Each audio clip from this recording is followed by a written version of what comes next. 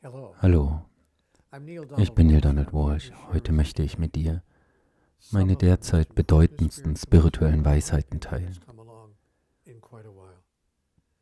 Es geht um die Inhalte des Buches, ein unerwartetes Gespräch mit Gott, das Erwachen der Menschheit. Dieses Buch war eine Überraschung. Das war vorher so nicht geplant. Ich dachte wirklich, dass ich bereits 98 die komplette Buchreihe Gespräche mit Gott abgeschlossen hatte. Doch im August 2016 erwachte ich inmitten der Nacht und hatte nach so langer Zeit mal wieder eine Eingebung. Sie begann folgendermaßen. Es ist Zeit für ein weiteres Gespräch war nicht nur ein kurzer Austausch, sondern ein Gespräch in Buchlänge. Ich war scheinbar bereit, diese Informationen zu empfangen und mit der Menschheit zu teilen. Und gleichzeitig war es an der Zeit, dass die Menschen diese Informationen anschließend mit dem Rest der Welt teilten. Ich habe nicht ganz verstanden, was das bedeutet, bis der Dialog begann. Aus dem nächtlichen Dialog entstand ein komplettes Buch. Dieses Buch ist nun der vierte Teil der Reihe Gespräche mit Gott und hat den Titel Das Erwachen der Menschheit. Jetzt möchte ich dir etwas über den Inhalt erzählen. Die Menschheit wird nun erneut eingeladen. Das ist nun bereits die dritte Einladung. In den früheren Gesprächen mit Gott gab es zwei weitere Einladungen. Die erste Einladung war, das Verständnis von Gott zu überdenken. Zweitens, dass der Mensch sich selbst reflektieren sollte. Und jetzt werden wir eingeladen, zum Erwachen der Menschheit beizutragen. Und diese Einladung ist an uns alle gerichtet, an jeden einzelnen Menschen hier auf der Erde. Ich möchte nun mehr ins Detail gehen und darüber sprechen, wie es sich anfühlt und realisieren lässt und wie du herausfinden kannst, ob du komplett erwacht bist. Danach kannst du alle Menschen in deinem Umfeld aufwecken. Ich möchte mit dir einige Punkte aus diesem Buch teilen. Es gibt mehrere Kriterien für Verhaltensweisen von hochentwickelten Lebewesen. Man kann natürlich darüber reden, dass man ein spiritueller und ein bewusster Mensch ist. Aber wie fühlt sich das an? Was bedeutet das tatsächlich? Und wie lässt sich das realisieren? Wie kannst du dich zu einem erwachten und bewussten Menschen entwickeln? Ich habe Gott natürlich diese Fragen in unserem Dialog gestellt und Gott antwortete, nun, es gibt viele Möglichkeiten. Ich möchte jetzt mit dir die wichtigsten Punkte teilen. Du kannst dadurch dein tägliches Leben verändern. Durch die Transformation deiner Verhaltensweisen kannst du bereits dein persönliches Erwachen erreichen. Solltest du es noch nicht gelesen haben, im vierten Buch steht geschrieben, dass wir bereits erwachte Wesen sind. Wir sind uns dessen nur nicht bewusst. Ich fragte Gott, wie kann das sein? Wie kann ich erwacht sein, aber davon nichts wissen? Und Gott sagte, oh, das passiert ständig. Hast du schon einmal erlebt, dass du träumst und dann ein Geräusch gehört hast? Also in deinem Traum warst du dir sicher, dass es Teil deines Traumes war? Doch plötzlich hast du gemerkt, Moment, Moment mal, das war nicht Teil meines Traumes. Es war ein Geräusch im Haus. Die Katze hat wahrscheinlich eine Vase umgeworfen oder es war ein Geräusch im Erdgeschoss. Es ist im wirklichen Leben passiert. Und du erkennst, dass du wach bist, obwohl du überzeugt warst, zu träumen. Nun, so ähnlich passiert uns das auch in unserem Alltagsleben. Wir verbringen unser Leben buchstäblich wie Schlafwandler, bis wir eines Tages durch einen Reiz zur Erkenntnis gelangen, dass wir bereits die ganze Zeit erwacht waren. Wir haben nur nicht dementsprechend gehandelt. Also fragte ich Gott, was ist denn nun das richtige Verhalten? Und Gott sagte nun, ich werde dir einiges dazu erzählen. Notiere dir bitte folgende Punkte. Das bietet dir Inhalt für ein ganzes Programm bzw. einen kompletten Kurs. Ich gebe dir eine Liste von 16 Verhaltensweisen, die hochentwickelte Wesen in ihrem täglichen Leben umsetzen. Wenn du diese Verhaltensweisen langsam nacheinander umsetzt, wirst du bemerken, dass du bereits erwacht bist. Nun, bevor ich die Liste aber im Detail ausführe, möchte ich noch etwas anderes verdeutlichen. Du hast das alles zumindest teilweise angewendet. Es ist nichts Neues. Es ist nicht so, als ob ich noch nie darüber nachgedacht hätte oder gedacht hätte, oh, es gibt hier keine völlig neuen Ideen. Wir werden lediglich ermuntert, Verhaltensweisen, die wir sonst nur zur Hälfte oder einem Drittel unserer Zeit umsetzen, nun konsequenter anzugehen. Es geht darum, unser Wissen und unser Handeln zu optimieren. Ich möchte das einfach betonen. Ich sage das zu Beginn, weil ich nicht möchte, dass du dich fühlst, als ob du dich plötzlich transformieren müsstest. Oder denkst, ich muss sofort zu einem anderen Menschen werden. Oder ich muss mich verändern, aber ich weiß ja gar nicht auf welche Weise. Diese Transformation ist wirklich kompliziert. Ja, dieser ganze Prozess ist sehr anspruchsvoll. Nein, nein, nein, es ist anders. Ich möchte dich ermutigen, genauso wie Gott, als sie mir Folgendes sagte. Neil, entspann dich. Du wendest bereits vieles davon an, eigentlich schon alle Punkte. Es geht nur um eine gewisse Beständigkeit. Okay, werfen wir nun einen Blick darauf, was es bedeutet, ein hochentwickelter Mensch zu sein und was eine erwachte Spezies ist. Du kannst diese Verhaltensweisen perfektionieren, sobald du sie genau verstanden hast. Nun kommen wir zum ersten Punkt auf unserer Liste von 16 Verhaltensweisen, die mir Gott in unserem Dialog, das Erwachen der Menschheit, offenbarte. Hier ist nun die erste Verhaltensweise. Ein vollständig erwachter Mensch ist sich stets der Einheit allen Lebens bewusst. Menschen, die noch nicht erwacht sind, ignorieren meistens die Tatsache, dass wir alle miteinander verbunden sind. Dieser Punkt ist für uns erst einmal vorrangig in unserem Prozess des Erwachens. Nun, erst dann werden wir verstehen, wie wir unsere Mitmenschen aufwecken können. Beweise, dass du dir über die Einheit allen Lebens bewusst bist. Betrachte dich selbst als Teil allen Lebens. Du bist eins mit Gott.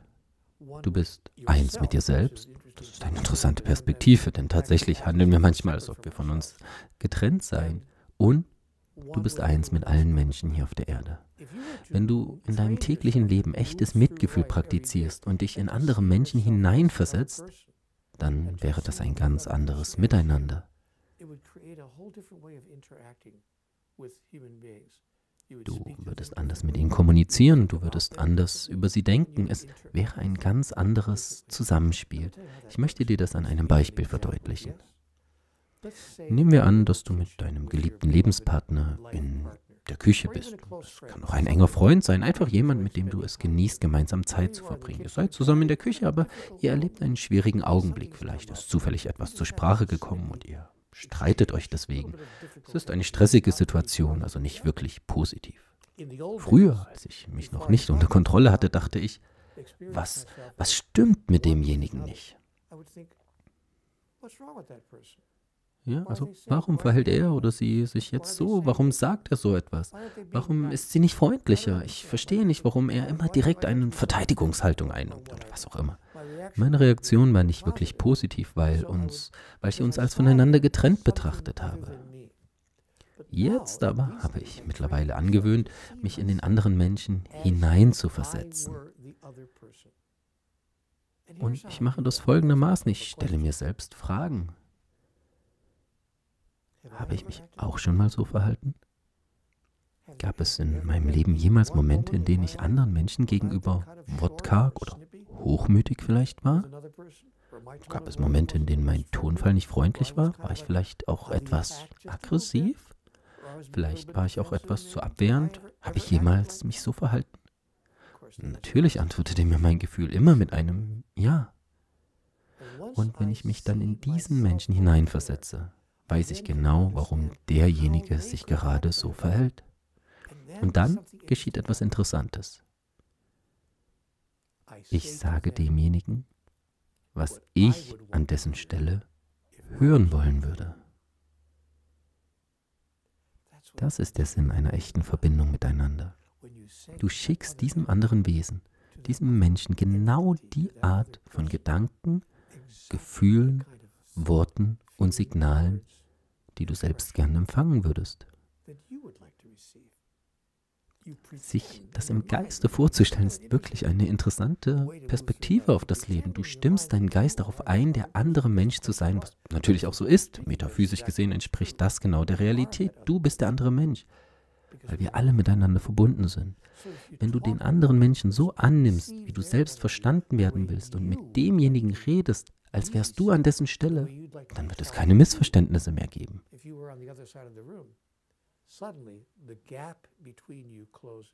Ja, die Unterschiede verschwinden und ihr werdet eine Einheitserfahrung erleben. Denn du behandelst den anderen Menschen, wie du selbst behandelt werden möchtest, wenn du mal schlecht drauf bist oder wenn du dich angegriffen fühlst. Das ist nur ein sehr einfaches Beispiel. Ich kann dir noch mehr Beispiele geben, aber was ich dir sagen möchte, ist doch Folgendes. Es ist nicht nur eine Theorie, dass wir alle eins sind, ja? Es ist nicht nur ein geistiges Konstrukt, es ist nicht nur ein Gedanke, dem du folgst. Es ist eine Entscheidung für das Leben, dass du dich in andere Menschen hineinversetzen wirst. Und mit dieser Lebenseinstellung kannst du anderen Menschen genau die Energie schicken, die du dir selbst in dieser Situation wünschen würdest.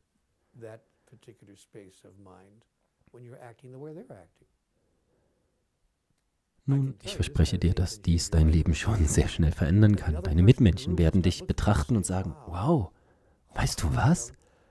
Du bist einer der wenigen Menschen, die in solchen Situationen Verständnis zeigen. Danke, danke, das fühlt sich wirklich gut an. Und wenn du mit einem anderen Menschen auf diese Weise interagierst, dass wir alle eins sind, sagst du in Wirklichkeit mit deinem Verhalten, Worten und auch mit deinen Gedanken.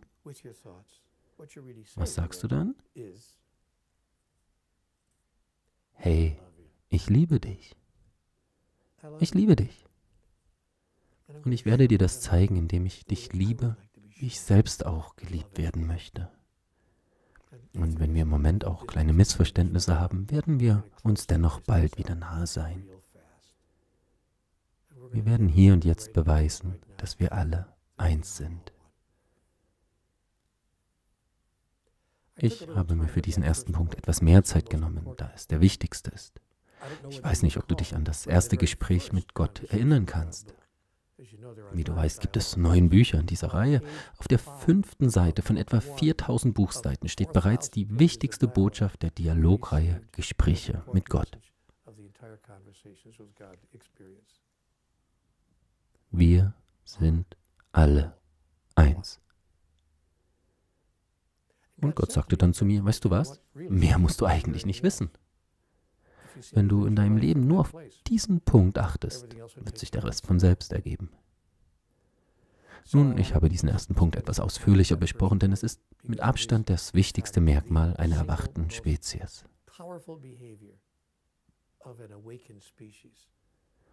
Und wenn du das anwendest, kannst du auch andere von dieser Einheit mit dem Ganzen überzeugen. Du beweist durch dein Verhalten, dass sich die Nachahmung wirklich lohnt. Du wirst mit gutem Beispiel vorangehen und ein Vorbild eines erwachten Menschen darstellen. Nun, lass uns weitere Punkte auf dieser Liste betrachten, die uns von Gott gegeben wurde. Das zweitwichtigste Verhalten eines erwachten Wesens ist folgendes. Ein erwachtes Wesen spricht stets die Wahrheit, ohne Ausnahme. Menschen, die noch nicht erwacht sind, tun das oftmals nicht. Wir erzählen öfter mal gewisse Unwahrheiten, so nenne ich das. Ich mag das Wort Lüge nicht, das fühlt sich irgendwie komisch an. Wir sprechen allerdings nicht immer die ganze Wahrheit. Wir versuchen oft die Wahrheit etwas zu verbergen. Ab und zu erfinden wir sogar etwas, weil wir vielleicht Angst haben, die Wahrheit zu sagen oder was auch immer der Grund dafür sein mag. Interessanterweise können wir uns selbst belügen. Bist du dir dessen bewusst? Manche Leute haben ein regelrechtes Talent dafür, sich selbst zu belügen. Ein erwachter Mensch verpflichtet sich ausnahmslos dazu, die Wahrheit zu sagen.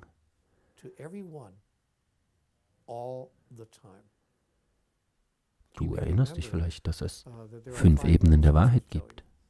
Im Buch Freundschaft mit Gott erfahren wir, dass es fünf Ebenen der Wahrheit gibt. Ebene Nummer eins, sei ehrlich zu dir selbst. Ebene zwei, Nimm andere so wahr, wie sie wirklich sind. Ebene 3. Erzähl anderen die Wahrheit über dich selbst. Ebene 4. Erzähl einem anderen Menschen die Wahrheit über ihn selbst. Und Ebene 5. Sei wahrhaftig und integer zu jedem. Nun, ein hochentwickeltes Wesen spricht also stets die Wahrheit ohne Ausnahme. Das ist das zweitwichtigste Verhalten hochentwickelter Wesen. Nun kommen wir zu Nummer drei auf dieser Liste. Bei hochentwickelten Wesen bzw. Menschen, die erwacht sind und andere ebenso aufwecken wollen, stimmen Reden und Handeln miteinander überein. Bei Menschen, die noch nicht ganz erwacht sind, ist das Gegenteil der Fall. Sie sagen oft das eine und tun dann das andere. Seien wir ehrlich zu uns selbst. Wir alle handeln hin und wieder auf so eine Weise. Wenn du dich aber selbst bei diesem Verhalten erwischst, dann hinterfrage und überprüfe das. Ich habe das zugesichert, also werde ich mein Versprechen einlösen. So wirst du zu einem Menschen, der wegen seiner Aufrichtigkeit an Vertrauen gewinnt.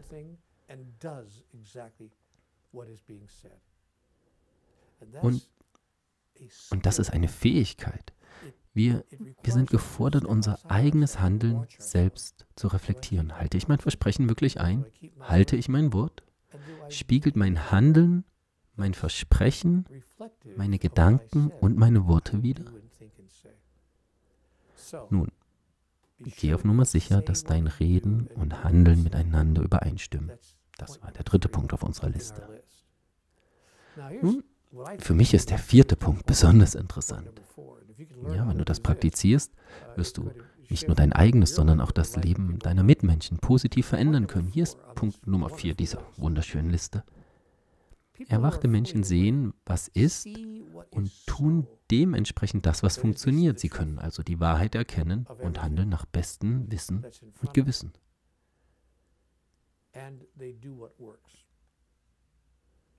Menschen im unerwachten Zustand tun oftmals das Gegenteil.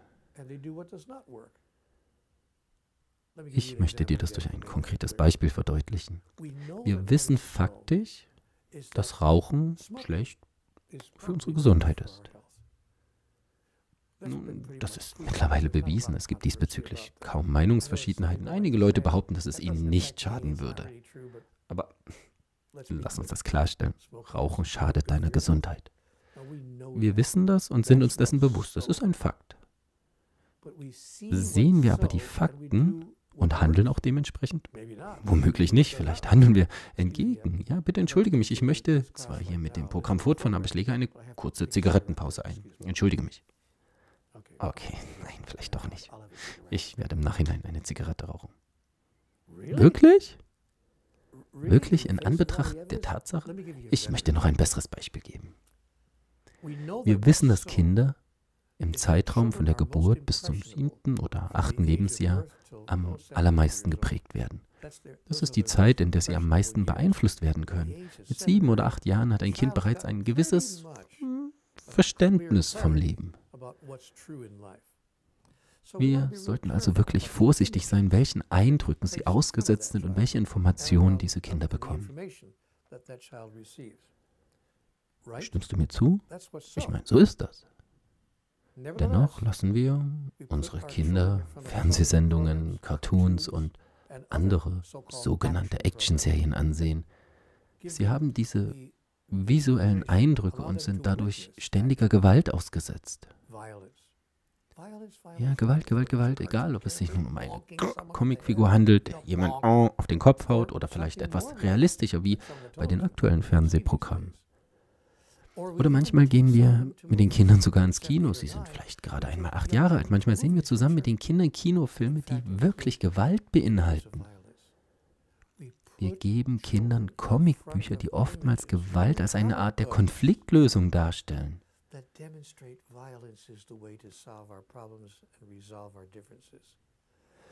Und dann eines Tages schlagen wir dann vielleicht die Zeitung auf oder wir sehen im Internet einen Artikel und lesen von einem siebenjährigen Kind, das seinen vierjährigen Bruder aus dem Fenster eines dreistöckigen Gebäudes geworfen hat, einfach aus Wut heraus. Ja, wir stellen uns dann die Frage, oh mein Gott, wie kann ein Kind jemals auf diese Idee kommen? Das ist unbegreiflich. Wie kommt ein Kind nur auf solche Gedanken? Mein Gott. Kann es nicht sein, dass die Ideen aus den Filmen, TV-Shows, Cartoons und Comicbüchern stammen? Nein, nein, das wird es nicht sein, wahrscheinlich nicht. Man hat also die Tatsachen vor Augen, aber handelt entgegen bestem Wissen und Gewissen. Ich könnte dir etliche weitere Beispiele anführen, aber ich denke, du bekommst eine Vorstellung davon. Ein erwachter Mensch sieht der Wahrheit ins Auge und hat die Courage, konsequent danach zu handeln, anstatt einfach unvernünftig zu sein. Er tut, was funktioniert und lässt, was nicht funktioniert. Das ist nicht ganz unbedeutend, ja? Du kannst anderen dabei helfen, bestimmte Verhaltensweisen für sich selbst zu erkennen. Ich meine, du solltest ihnen nicht vorschreiben, was zu tun ist oder wie sie ihr Leben leben, aber du kannst ihnen bewusst machen, welche Lebensweisheiten man Beachtung schenken sollte. Derjenige kann selbst entscheiden, welche Lebensweise mit dieser Wahrheit zusammenspielt oder sich eben dagegen entscheiden. Das ist sicherlich eine Möglichkeit, zum Erwachen der Spezies beizutragen. Erinnere dich, dass erwachte Menschen sehen, was ist und tun dementsprechend das, was funktioniert. Und jetzt wird es interessant. Eine erwachte Spezies richtet ihre Zivilisation nicht nach Prinzipien wie Gerechtigkeit oder Strafe aus. Ja, so etwas gibt es da nicht. Für die meisten Menschen ist eine solche Lebensweise schwer zu verstehen. Es ist eine Herausforderung für unsere derzeitige Weltanschauung. In hochentwickelten Zivilisationen existieren die Prinzipien von Gerechtigkeit oder Strafe nicht. Es gibt keine Gesetze, gesetzlichen Vorschriften. Du denkst vielleicht ähnlich wie ich, als ich zum ersten Mal im Dialog das Erwachen der Menschheit davon gehört hatte. Ja, mein erster Gedanke war, ah, das hört sich fantastisch an, aber im wirklichen Leben funktioniert das einfach nicht. Ja, wie kann man ohne bestimmte Vorschriften oder Gesetze leben? Man braucht bestimmt eine Art von Kontrolle. Ja, dann fiel mir ein interessanter Ort ein, an dem ich schon mehrmals gewesen bin. Warst du jemals in Paris? Wenn nicht, solltest du das nachholen. Falls du schon dort warst, dann kennst du bestimmt den außergewöhnlichen Arc de Triomphe. Und um den Arc de Triomphe herum befindet sich ein Kreisverkehr. Man nennt den den Selbstmordkreisel. Tausende von Autos fahren stündlich durch diesen Kreisverkehr am Arc de Triomphe. Jeden Tag, ja, jede Stunde tausende Autos fahren aus den Stra Seitenstraßen in den Kreisverkehr hinein. Und weißt du, was an diesem Kreisverkehr um den Arc de Triomphe so besonders ist? Es gibt keine Fahrspuren, ja. Es gibt keine Verkehrspolizei. Es gibt auch keine Ampeln. Und es gibt auch keine Beschilderung. Es gibt keinerlei Regulierung. Und weißt du, was daran noch so faszinierend ist? Im Kreisverkehr um den Arc de Triomphe passieren weniger Unfälle als auf der 150 Meter entfernten Champs-Élysées, die in diesen Kreisverkehr hineinführt. Die Champs-Élysées ist natürlich eine der belebtesten Straßen der Welt. Dort gibt es eine Verkehrspolizei und Straßenschilder und natürlich gibt es auch Ampeln und Fahrbahnmarkierungen auf der Straße. Und mit all den Vorschriften, Richtlinien, mit all den Gesetzen, die man befolgen muss, gibt es mehr Unfälle als auf der, auf der Champs-Élysées, als im Kreisverkehr um den Arc de Triomphe, ohne all diese Regulierungen. Also mein Argument ist, wir wissen, wie wir uns verhalten sollen, wenn es keine Gesetze, Regeln oder Vorschriften gibt. Wie können wir den Kreisverkehr sicher durchqueren ohne Fahrbahnmarkierung, Ampeln oder Polizisten, die den Verkehr regulieren? Wie, wie, wie ist das denn möglich? Ich meine, es ist ziemlich einfach. Es nennt sich Überlebenstrieb. Schau, wenn wir wissen, dass etwas sehr Wichtiges auf dem Spiel steht, dann wird unsere Aufmerksamkeit deutlich erhöht. Aus diesem Grund bezeichne ich es den Selbstmordkreisel. Beim ersten Mal, als ich diesen Kreisverkehr fuhr, dachte ich, oh mein Gott, wie, wie soll ich diesen Kreisverkehr nur verlassen? Die Autos fahren sprichwörtlich wie wild durcheinander. Wenn du dort Auto fährst, bist du hellwach und hochkonzentriert. Und jeder achtet auf den anderen und auf sich selbst, denn alle sind sich der essentiellen Überlebensdrang bewusst. Wir werden aufeinander aufpassen und wir werden auf uns selbst achten. Selbst wenn jemand einen kleinen Fehler macht, werden wir es erkennen, kompensieren und auch alle anderen werden es überleben. Ja, alles für alle kommen durch diesen Kreisverkehr. Wie ich eben schon gesagt habe, ist die Zahl der Unfälle geringer, als wenn es Fahrbahnmarkierungen, Ampeln oder Verkehrspolizei geben würde. Man muss nur das Gefahrenpotenzial einschätzen können. ja, verstehen, dass es letztendlich hier ums Überleben geht und sich dadurch natürlich enorm zu konzentrieren. All das resultiert aus dem Bewusstsein, dass es ums Überleben geht. Dann wird man sich dessen bewusst, wie wichtig es ist, sich um seine Mitmenschen zu kümmern und für sein eigenes Handeln gerade zu stehen. Mit einmal sind Regeln, Gesetze, Vorschriften, Strafen und sogenannte Gerechtigkeit überhaupt nicht mehr erforderlich. Gerechtigkeit ist nicht erst nach einer Tat von Bedeutung. Ein bewusstes Wesen handelt stets selbstverantwortlich. Ich meine, ein hochentwickeltes Wesen, also ein Mensch, der erwacht ist, handelt von Anfang an korrekt. In unserer Gesellschaft glauben wir, dass Gerechtigkeit durchgesetzt wird, nachdem etwas Unrechtes getan wurde. Also brauchen wir die Justiz, um es wieder gut zu machen. Aber in Wahrheit, im realen Leben, in hochentwickelten Zivilisationen verhält sich jeder schon von Anfang an richtig. Ja, deswegen muss man nicht erst nachträglich für Gerechtigkeit sorgen. Es besteht auch kein Anlass zur Bestrafung. Letztendlich gilt das auch im Königreich Gottes ebenso, wie du bestimmt weißt, dass es so etwas wie Bestrafung, Verurteilung oder Verdammnis im Königreich Gottes nicht gibt. Aus diesem Grund existiert auch keine Bestrafung in den Zivilisationen hochentwickelter Wesen. Was Gott gut genug ist, ist doch für einen erwachten Menschen ausreichend, oder? Wir sollten noch über ein weiteres Verhalten hochentwickelter Wesen sprechen. In Hochkulturen mit hochentwickelten Wesen existiert ein, gibt es ein umfassendes Bewusstsein für Fülle. Sie kennen nicht so etwas wie Mangel. Wenn du dich zu einem hochentwickelten Wesen entwickeln willst, musst du nur die Entscheidung treffen, dass Mangel kein Bestandteil deines Lebens oder deiner Erfahrung mehr sein soll that insufficiency shall not be part of your expression or your experience. Ja, vereinfacht ausgedrückt, gelangst du zur Erkenntnis, dass von allem genügend vorhanden ist. Als ich noch ein Kind war, hat mir mein Vater gezeigt, wie ich das verstehen kann. Ich erinnere mich immer noch an das erste Ereignis. Er wendete immer die gleiche Strategie an in meiner gesamten Kindheit. Ja, beim ersten Mal war ich im Zoo in einem, in einem Tierpark. Ja, und mein Vater kaufte mir Zuckerwatte. Du kennst Zuckerwatte, oder? Das ist etwas Süßes. Es sieht aus wie Baumwolle. Es ist einfach nur Zucker, das um ein Stäbchen gewickelt ist. Mir ist es heruntergefallen. Ich war etwa sieben Jahre alt und ich meine, mir ist die Zuckerwatte herumgefallen. Und natürlich, sie war voller Dreck dann. Es war unmöglich, sie noch zu retten. Ich weinte. Oh, ich habe meine Zuckerwatte fallen lassen. Mein Vater beugte sich zu mir runter. Es ist, als wäre es gestern gewesen, ja. Er sagte, mein Junge, mein Junge, weine nicht. Es gibt noch mehr von dem, wo das herkommt. Und dann hat er es mir bewiesen.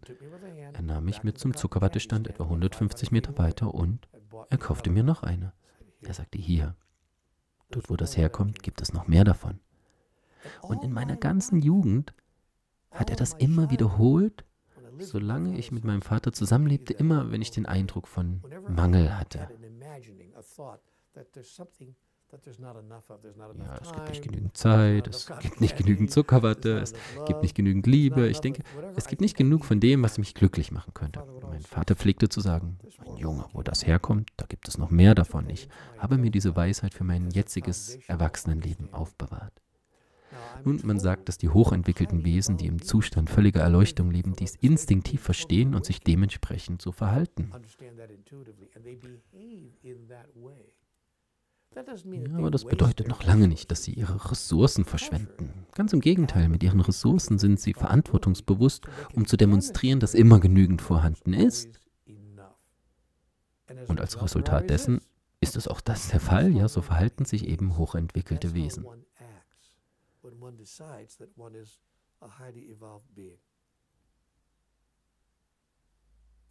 Hier ist noch ein weiterer Punkt auf dieser Liste mit Sechtens Verhaltensweisen wichtig. Ich werde nicht die ganze Liste durchgehen, doch ich werde viele mit dir teilen. Hochentwickelte Wesen, das heißt Menschen, die erleuchtet sind, teilen jederzeit und ausnahmslos mit anderen. In unserer irdischen Gesellschaft gibt es einige Menschen, die nicht immer bereitwillig mit anderen teilen wollen. Zumindest solange du mir nicht nahe stehst oder zu meiner Familie gehörst. Man teilt ungern mit jemandem, der, der nicht zum engsten Vertra vertrauten gehört. Doch in hochentwickelten Kulturen teilen alle alles mit allen, die ein Bedürfnis danach haben. Und das ist ein gutes Beispiel, da es erneut belegt, dass es genügend gibt. Ich schaue, was uns daran hindert, mit anderen zu teilen, ist ein gewisses Mangelbewusstsein. Also horten und verteidigen wir unser Hab und Gut, ja, weil ansonsten scheinbar uns die Vorräte ausgehen würden und dann werden wir vielleicht nicht mehr in der Lage sein. Ich habe in meinem Leben etwas ganz Spannendes herausgefunden. Ich habe es geschafft, alle meine Verluste wieder auszugleichen. Denk mal darüber nach. Ich wette, das gilt auch für dein Leben. Ich wette, es trifft auf fast alles zu, wenn man wirklich darüber nachdenkt. Alles, was ich jemals verloren habe, sei es einfach nur mein Lieblingsstift oder etwas Wichtiges wie die Liebe eines Menschen, all das konnte ich irgendwie wiederherstellen. Ja, ich war damit genauso zufrieden wie mit dem, was ich verloren hatte. Ich habe also gelernt, alles von Liebe bis zu meinem Besitz mit anderen zu teilen. Und ich sorge mich nicht, was, wenn mir die Vorräte ausgehen. Es gibt nicht genügend. Schon allein das bedingungslose Teilen erzeugt die Energie von Fülle. Daraus ergibt sich die Erkenntnis, dass mir immer ausreichend Mittel zur Verfügung stehen, um glücklich zu leben. Nochmal, das ist wirklich wichtig. Es spielt eine große Rolle. Ich will dir ein gutes Beispiel dafür geben.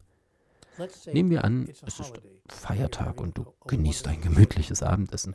Es ist ein Festmahl mit der ganzen Familie und dann taucht plötzlich Onkel Joe auf. Du hast nicht mit ihm gerechnet, er war verreist, aber er kehrt in die Stadt zurück und sagt, hey, ich habe gehört, ihr habt heute Abend ein Festmahl. Darf ich mich zu euch gesellen? Natürlich, Onkel Joe, sehr gern. Wir haben gedacht, dass du nicht in der Gegend bist, aber komm rein, es ist genügend für alle da, klar. Und du weißt, es ist genügend da. Wenn wir einfach das Vorhandene anders aufteilen, dann reicht es für eine weitere Person. Ich meine, das klappt immer, oder? Und klopft es an der Tür. Du öffnest die Tür, bist gespannt, wer da ist, und es ist ein wildfremder Mensch. Möglicherweise sogar ein Obdachloser, der nur am Haus vorbeikam und vielleicht das Licht gesehen hat. Vielleicht hat er einen Blick durch den Vorhang riskiert und gesehen, dass ihr ein köstliches Abendessen habt. Darf ich hereinkommen und etwas mit euch essen? Ich habe seit Tagen nichts gegessen. Sagst du dann ja? Bittest du ihn herein, um mit deiner Familie das Abendessen zu teilen? Egal wie ungepflegt er aussieht oder wie er riecht? Egal ob er sich deinen Maßstäben entsprechend verhält? Oder sagst du, ah, ich kenne sie nicht einmal. Es tut mir leid, aber nein, wenn er Glück hat, gibst du ihm vielleicht noch ein oder zwei Euro, aber schickst ihn dann wieder weg. Ich erzähle das hier, weil ich ein paar Jahre lang obdachlos war. Es kann sein, dass du davon nichts wusstest, doch ich war ein Jahr lang ein sogenannter Obdachloser. Ich hatte keine Unterkunft, ja, keinen Wohnort. Ich hatte keinerlei Einkünfte. Ich besaß kein Geld, abgesehen von dem, was mir die Leute geschenkt haben. Ich habe nur etwas Leckeres essen können, wenn es mir angeboten wurde. Ich spreche also aus eigener Erfahrung. Wenn so jemand an deiner Tür erscheint, lässt du ihn dann rein? Sagst du, bitte, komm, setz dich, es reicht immer für eine weitere Person? Oder tust du das nicht? Es liegt bei dir. Aber ich weiß, was ein hochentwickeltes Wesen tun würde. Ich weiß, was ein erwachter Mensch tun würde. Sie sagen, natürlich, nimm dir einen Stuhl, komm herein und setz dich. Guten Appetit. Wenn wir unser Verhalten ändern und somit das Handeln eines erleuchteten Menschen widerspiegeln, wird sich unsere Lebenssituation komplett verändern.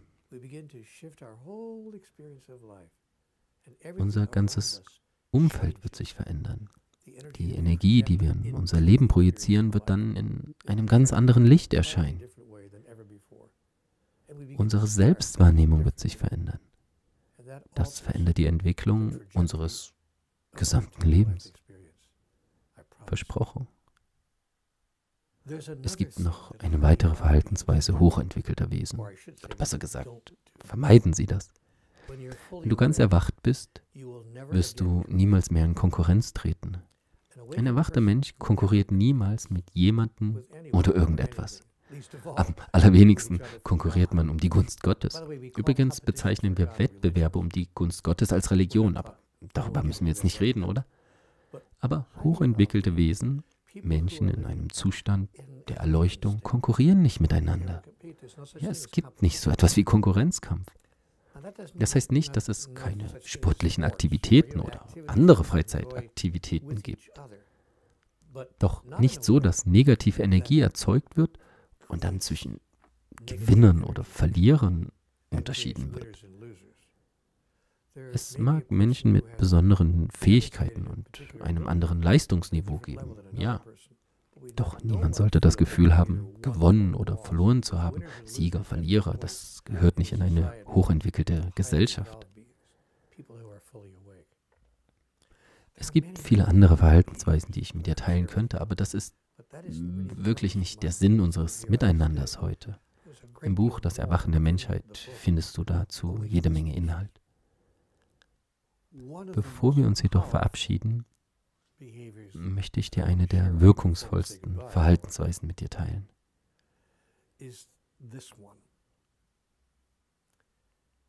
Erleuchtete Menschen verfügen über ein ausgeprägtes Bewusstsein für die Gesetze der Metaphysik. Sie wenden Metaphysik an.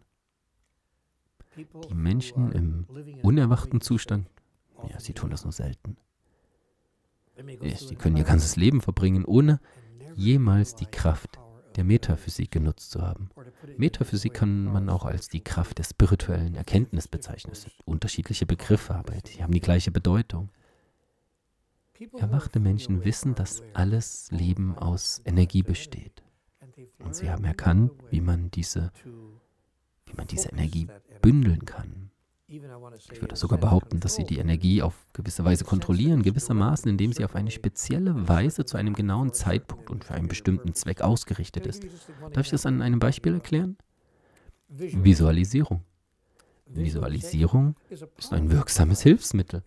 Mit dieser Technik kann man die Energie des Geistes auf die Außenwelt projizieren. Und ich kann dir ein wirklich beeindruckendes Beispiel aus meinem eigenen Leben erzählen.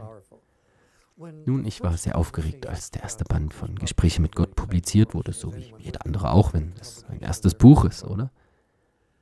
Also, ich saß da und ich, ich, begann zu visualisieren. Damals besaß ich noch ein, ein, Postfach und die Nummer des Postfaches steht auf der Rückseite des Buches. Du wirst es noch immer dort finden.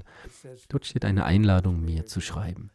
Falls du mir mitteilen möchtest, welche Gefühle das Buch hervorgerufen hat, dann schreib mir an folgende Adresse. Ich stellte mir das Postfach so überladen vor, dass beim, beim Öffnen der Klappe alle Briefe herunterfielen. Denn ich habe mir gewünscht, dass viele Menschen dieses Buch lesen. Ich hoffte, dass die Botschaft des Buches viele Menschen erreichen würde. Also visualisierte ich das jeden Abend, bevor ich zu Bett ging. Ich habe mir es vorgestellt, ich visualisierte, wie ich das Türchen öffnete und die Post tatsächlich heraus, weil, weil es so vollgestopft war.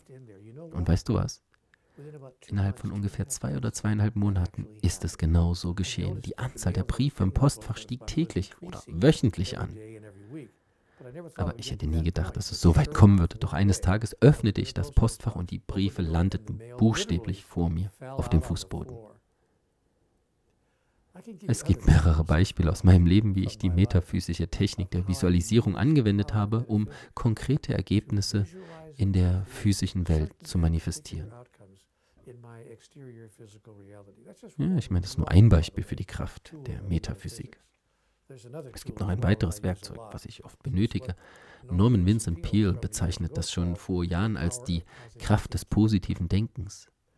Jetzt denkst du vielleicht, oh, so etwas Schwammiges, Kraft, positives Denken. Mein Freund, es funktioniert. Das verspreche ich dir. Und sobald mir jemand von einem Problem oder einer schwierigen Situation erzählt, werde ich direkt eine positive Denkweise annehmen, anstatt einfach negativ zu denken. Quasi zugleich. Ja, es gibt eine Lösung. Es gibt einen Ausweg. Die Energie lässt sich beeinflussen. Und wenn ich danach gefragt werde, dann biete ich auch Lösungsvorschläge an. Aber selbst wenn ich nicht gebeten werde, Vorschläge zu machen, werde ich selbst positiv denken. Das gilt für meinen eigenen wie auch die Lebenssituation eines anderen. Ich denke stets positiv. Und das Resultat ist ebenfalls meistens positiv. Ich sage nicht, dass niemals etwas schief läuft oder anders, als ich es mir gewünscht habe. Nein, tatsächlich läuft das im wahren Leben ganz anders ab. Aber fast immer, ich sage mal 80 bis 90 Prozent der Fälle entwickeln sich positiv für mich, weil ich positiv denke. Nun, vielleicht findest du das jetzt zu stark vereinfacht. Vereinfacht oder nicht, ja, diese metaphysischen Fähigkeiten nutzen wir in unserem Alltag viel zu selten und auch überhaupt nicht kontinuierlich.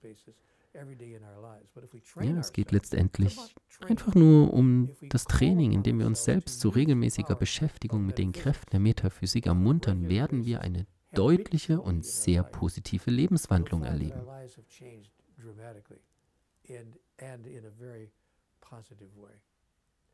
Nun, soweit also einige Einblicke aus dem Buch, ein unerwartetes Gespräch mit Gott, das Erwachen der Menschheit.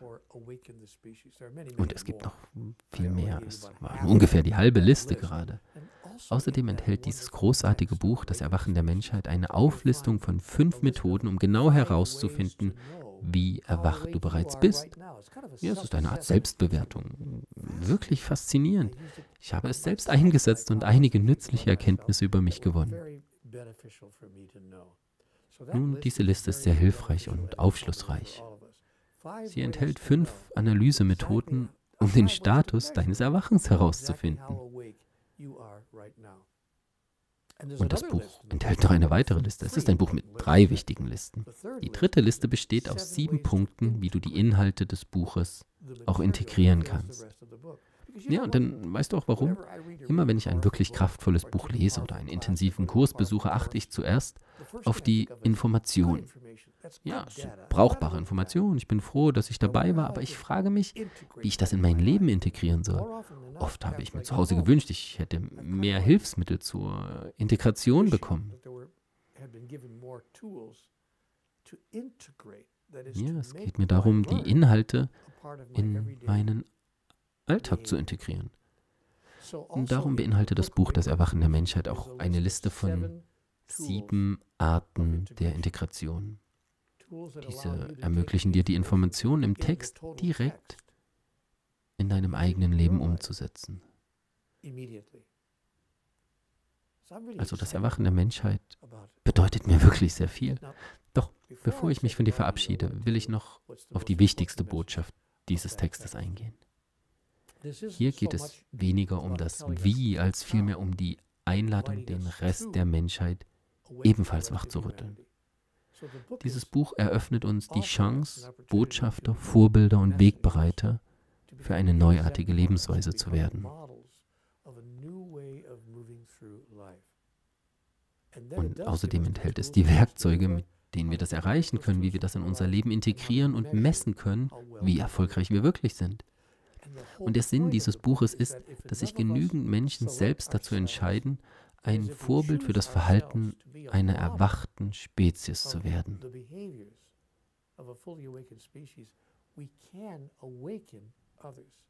Ja, und das funktioniert folgendermaßen.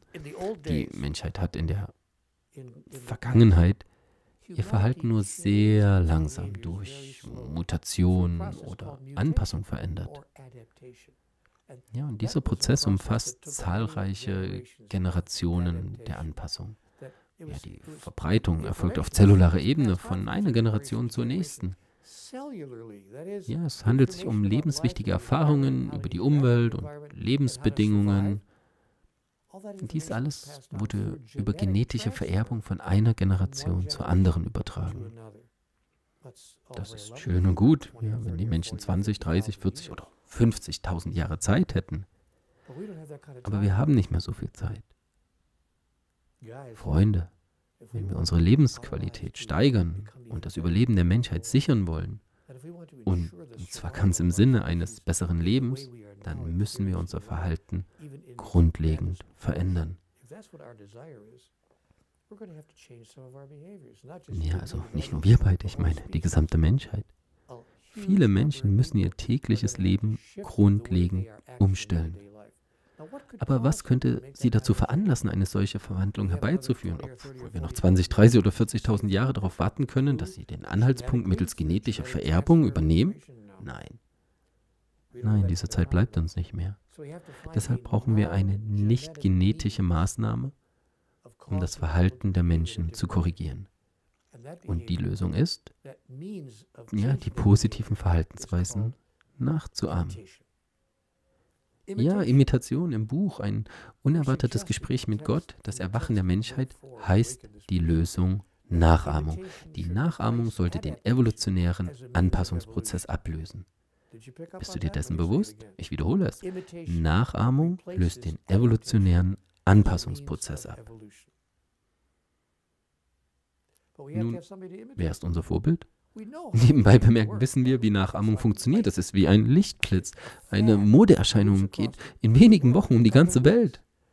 Eine gewisse Redensart, eine neue Gangart, ein neuer Hit, ein neuer Song, neue Mode, die trendy Mütze, die jetzt alle lieben oder auch Erfindungen, ja, wie, wie diese hier. Ja, es gibt mittlerweile Milliarden von Handys in aller Herren Länder, aber ich meine, vor 20 Jahren besaß niemand ein solches Gerät. 20 Jahre sind ein sehr kurzer Zeitraum in Anbetracht der menschlichen Entwicklung. Wenn wir die Lebensgewohnheiten der Menschen in den nächsten 10 bis 20 Jahren transformieren würden, hätten wir eine völlig neue Welt.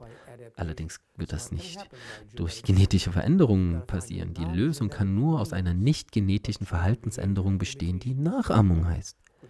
Nur wer ist unser Vorbild? Wer sind die Leitbilder einer erwachten Spezies? Und wie lange wird es dauern? Nun, wenn nicht jetzt, wann dann? Und wenn nicht du, wer? Nun, hiermit lade ich dich herzlich ein, so wie wir alle im Buch Das Erwachen der Menschheit eingeladen wurden, genau dieses Vorbild zu sein. Wir alle werden gebeten, zu Vorbildern zu werden. Zudem erhalten wir die erforderlichen Hilfsmittel auch dafür. Genaue und wirksame Verhaltensmuster, Vorschläge, wie wir diese Verhaltensmuster in unser tägliches Leben integrieren können und Methoden, wie wir unseren Erfolg messen können. Diese Botschaften sind ein so wundervolles Geschenk an die Menschheit. Ich wünsche mir, dass auch du meiner Einladung folgst, wenn dein inneres Feuer entfacht ist, wenn du den derzeitigen Zustand der Erde betrachtest, wenn du nur einmal die politischen, wirtschaftlichen und finanziellen Verhältnisse betrachtest und unsere spirituelle Entwicklung erkennst, dass unsere Sozialsysteme versagen, wenn du den Zustand unserer Erde erkennen kannst und denkst, es gibt etwas, was ich unternehmen kann, aber wie kann ich ändern? Es muss doch irgendwas geben, was ich tun kann. Natürlich gibt es das. Du könntest dir dieses dringende Bedürfnis, einen Unterschied in der Welt zu bewirken, selbst erfüllen. Du solltest dich dazu entscheiden, ein gutes Beispiel für andere zu sein und als Vorbild zu dienen.